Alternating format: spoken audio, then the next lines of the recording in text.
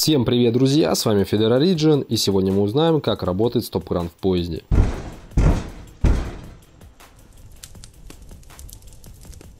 Все мы видели в поездах ручки, на которых написано «стоп-кран». Многие из нас были свидетелями, когда кто-то его дергал, отдельные личности даже сами его использовали по назначению. Но что же происходит, когда ручка стоп-крана опускается? Давайте разберемся. Стоп-кран входит в систему пневматических тормозов. На обычных поездах используется одна из разновидностей, а именно автоматический непрямодействующий тормоз. Понятно, да? Ладно, в чем суть? Давайте посмотрим схему. Это у нас компрессор, который нагнетает воздух в главный резервуар и во всю систему. По трубам воздух идет к машинисту, который с помощью своего крана может управлять тормозами, выпуская воздух в атмосферу.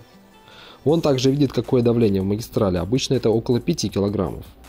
Дальше через весь состав воздух идет через все вагоны, в каждом из которых есть запасный резервуар. Именно запасный, а не запасной. Служит не на случай отказа главного, а запасный в смысле запасает воздух. Это важно. Он заполняется через воздухораспределитель. Через него же тормозной цилиндр соединен с атмосферой. И пока на поршень в тормозном цилиндре не давит воздух, колодки не прижимаются к колесам. И конечно же в каждом вагоне есть стоп-кран, который как экран машиниста может выпустить воздух в атмосферу. Например, кто-то опускает стоп-кран или машинист тормозит тормозит своим краном. Воздух начинает выходить в атмосферу и при этом во всех воздухораспределителях падает давление с левой стороны. Воздух из запасных резервуаров давит на поршень и сдвигает золотник. Теперь на тормозный цилиндр давит воздух под давлением и колодки прижимаются к колесам. Происходит торможение. Таким образом, получается, что любое падение давления в такой системе автоматически тормозит весь состав. Если же после срыва стоп-крана его не поднять наверх, то заполнить систему воздухом будет невозможно. Все, что будет нагнетать компрессор, будет уходить в атмосферу.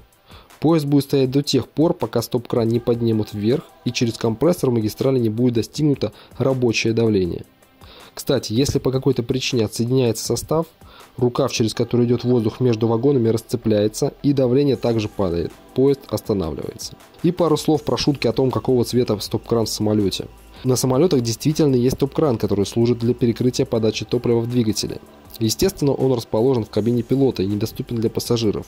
Зачастую окрашивается в красный либо какой-то иной яркий цвет. Друзья, если вам понравился ролик, ставьте лайк. Если хотите больше всякого интересного, подписывайтесь на канал. А с вами был Fedora Region. Всем пока!